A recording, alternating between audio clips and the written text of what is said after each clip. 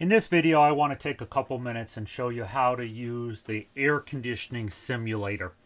Okay, now in our advanced air conditioning course, we are going to be using the simulator quite a lot, and you are going to have assignments on it. So the sooner you get in there, play around with it, the better off you're going to be. So the first thing you want to do is, first of all, if you have not already installed the remote desktop product from my prior video, you need to do that on your iPad or on your laptops.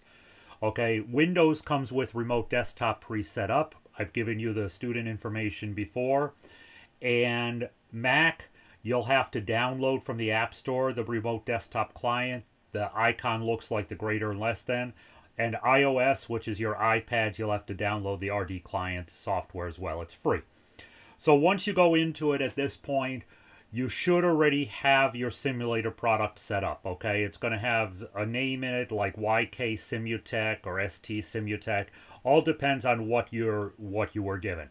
You're going to click on that and you're going to get connected to the remote PC, which is a Windows server, okay? But it allows us to use Windows software on your iPad.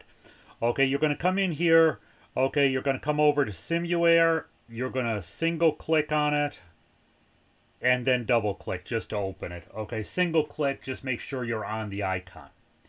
Now, navigating this is simply as driving the mouse around. You see how I'm driving this mouse around? You could put your finger any place on the screen and drive that mouse around. The first thing you need to do is user logon. Okay, if you've already you logged in, you're going to get a um, you're to find your username on there. If you haven't logged in yet you still need to go add yourself as a new user which you would do from over there. I gave you those directions in another video. Okay in this case i'm going to come in here. I'm going to select my test user. Okay now when it comes time to enter a password this is where it gets a little challenging. Click the keyboard from up at the top.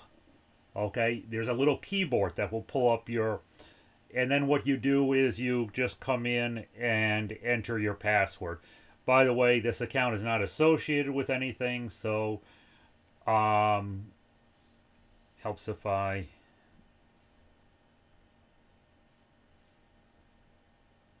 oops.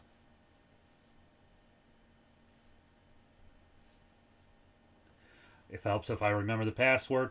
Once you're in and the little box goes away, just click the little keyboard down there and you get rid of your keyboard. Now, the first thing we got to do is we got to totally learn how this runs in normal operations because it's most likely your instructor or me has blocked faults until you run it under normal operations. Okay, I'm doing this on the iPad, so I, I very specifically show you that it runs. Okay, so first of all, couple things down here at the bottom. Okay, I want you to look at the bottom menu where my mouse is. Okay, you have a power switch, fan switch, thermostat set point. You can change the indoor temp to make it hotter or cooler.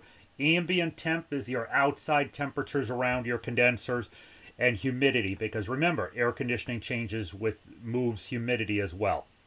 Up at the top, you have your gauges, you have temperature probes, you have a leak detector, you have a view devices, allows you to look at coils. We'll show you that in a minute. Has some charts and graphs. You have repair tools. You have legends that you can actually open up.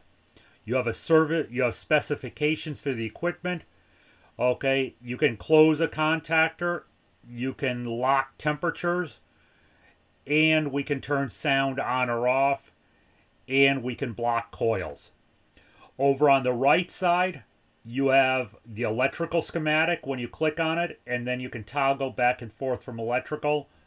Okay, and then you have the exit to the main menu, and you actually have a help screen, okay, if you need it. Now, under normal operations, what you're just going to do is you're going to come down to the bottom. We want to turn that on. Okay, and then I would just go back and drag that screen back up to the top, okay? Now, when it's running, you can throw your gauges on. Okay? And it will actually show you what your gauge pressures are. And if you double click on the if you click on the gauges, it's going to turn it into the temperature. So it will take care of your TP chart right there. Okay, condensers on the left, evaporators on the right. We've connected our lines in to the um, liquid side and the suction side. Those are our normal gauge connection points. You can also take a take your thermometer, okay, and you can put your thermometer on in different places in the system. So if I want to put a thermometer there, okay, you'll see the temperature probe. That's normally where I put my thermometer to get my subcooling. Okay, and I can then click on the thermometer and I could put my second thermometer over on, let's say, the suction line. That will get let me get my superheat.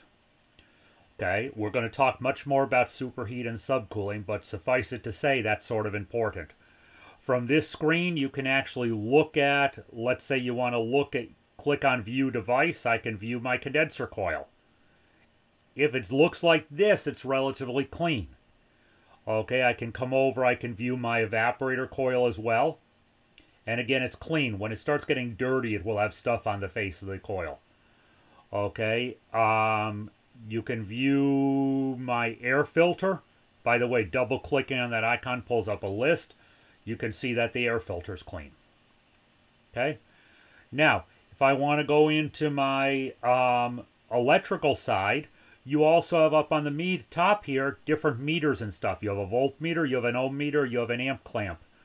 Okay, so if I want to view what my meter is, okay, I click that, and then I can say, okay, what's my, I'll put one meter reading there, and one meter reading there. So across line and neutral, 230. Once you have the meter placed, you can double click on the meter Okay? By the way, three fingers will let you drag things around. Okay, if you put your mouse on, mouse pointer on something, and three fingers on the iPad will let you drag it around. So once again, it, once you have the meter in place on your screen, you can select the different things you want to take readings of. Okay, and then just click OK. The points will move and it will show you wherever you want to take the readings. Okay, just as a hint. Amp clamps, can be used as well. You can position your amp clamp where you want it. Okay. But once you have it there, you can double click on it as well. Okay, and it will show you, it will pop up a little, you can click on the meter and it will pop up a little thing that lets you move that around. The amp clamp doesn't have too many options. There's an ohm meter here sorry, ohm meter is your center icon. But it will not let you use the ohm meter until you power everything off. So if I go back up there after powering it off, now I can use my ohm meter and I can say, okay, I want to ohm out my compressor winding. And again, you can single click on that on the meter itself and you can find out the different places and again, three screen, three fingers allows you to drag things around on the screen. Okay, so you can't you can't turn power back once you turn power back on. Actually, you can't turn power back on until you lose the ohm meter. Okay, it tells you remove the ohm meter before you turn power back on. Okay, so we just get rid of that. Okay, and it lets us remove that. Then we can turn the power back on. Now, when we first start using these, your instructor leaves the, um, by the way, two fingers will allow you to drag the screen around as well. Three fingers allow you to drag items around, pop-up boxes. Single finger drives the mouse. Okay, so when you first turn this on, and the first, you'll notice that your instructor actually shows the, allows the animations on the opening and closing relays after you after you're using it a while and probably for your final exam your instructor is going to turn off animations okay it's just the way it is because you should be using your meters okay so again just just be aware that this is there okay and realize that there's a bunch of other people using it so occasionally it gets slow when you're ready to leave do yourself a favor return the main menu okay? And then file close.